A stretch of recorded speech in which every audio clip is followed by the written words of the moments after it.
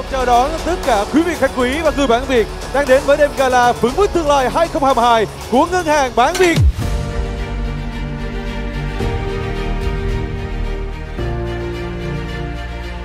Người bán Việt cùng chào đón các đơn vị từ khắp các tỉnh thành sẽ tập trung lại đây cùng với nhau để chúng ta có thể gặp gỡ, chia sẻ và chúc mừng thành quả trong một năm vừa qua với sự nỗ lực và cống hiến. Và năm nay đặc biệt hơn vô cùng nhiều với ngân hàng bản Việt chúng ta sẽ đón cột mốc 30 năm hình thành và phát triển.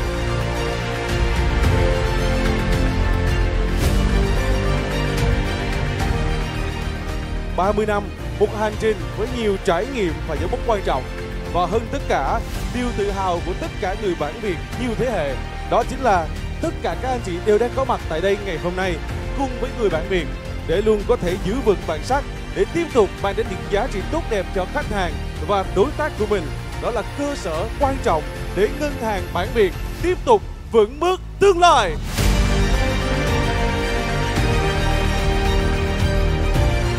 À, đêm gala hôm nay có nhiều ý nghĩa đặc biệt không chỉ là đêm để vinh danh các tập thể đơn vị đạt thành tích xuất sắc trong năm 2022 mà còn được vinh dự tri ân các anh chị nhân viên ngân hàng bản Việt đã đồng hành với ngân hàng từ lúc thành lập cho đến nhân dịp kỷ niệm 30 năm ngày thành lập ngân hàng.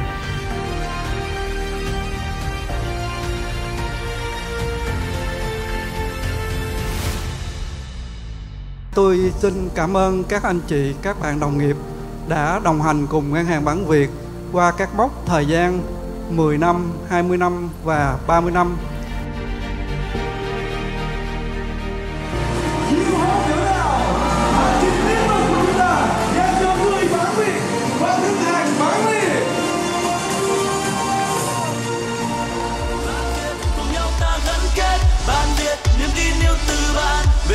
từng ngày cùng đi lên ban Việt.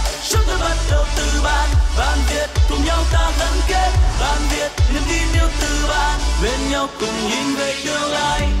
Khi mình chung ước mơ đi cùng nhau ta đến nơi dạng người cho niềm tin đến nhau để từng ngày là một hành trình mới. Bao xa mình đi với nhau, bên nhau mình cùng chung bước để mặt trời này sẽ luôn chiếu sáng muôn nơi ban việt chúng ta bắt đầu từ bạn. ban việt cùng nhau ta gắn kết ban việt, niềm tin yêu từ bạn. bên nhau từng ngày cùng đi lên ban việt chúng ta bắt đầu từ bạn. ban việt cùng nhau ta gắn kết ban việt, niềm tin yêu từ bạn. bên nhau cùng nhìn về tương lai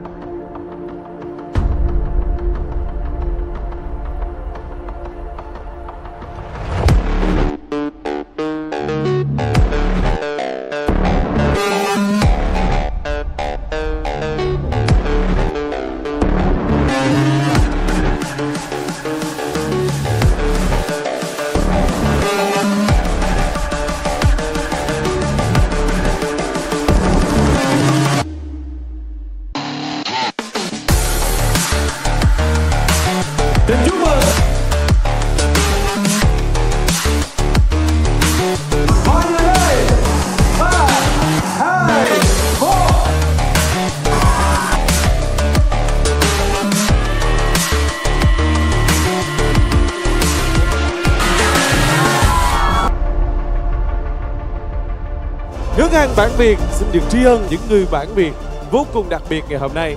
Cảm ơn người bản Việt vì những đóng góp vào sự phát triển của ngân hàng. Cảm ơn người bản Việt.